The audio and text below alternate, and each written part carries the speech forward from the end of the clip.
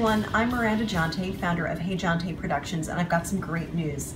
My dear friend and talented playwright, John Minigan, submitted his new play, Easter at the Entree Gold, to the Sam French Off Off Broadway Fest, and it got in.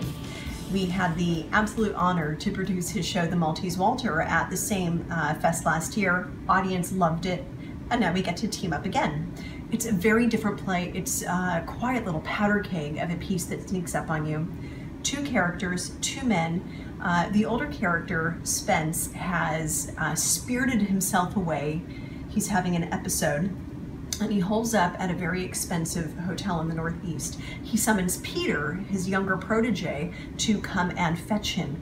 But when Peter gets there, Spence answers the door in drag, totally unexpected, and Peter realizes that the reasons he's been asked there are not the reasons he thinks, and all of these secrets and ugly truths come up. It's fantastic. We've got two wonderful actors, John Moss and Noah Whitkey, a fantastic stage manager, uh, Carrie McCormick, who we've worked with before, and we've teamed with Creative Women New York, a nonprofit that helps women in the arts. Any donations you make will be tax deductible, and we need to raise money for paying our actors, paying the stage manager, paying the director, a little bit of publicity, and we have to find a dress to fit Mr. John Moss, as well as a wig. I'm very excited. I'm thrilled to work with John again, and thank you so much. We'll see you at the Sam French Off Off Broadway Fest.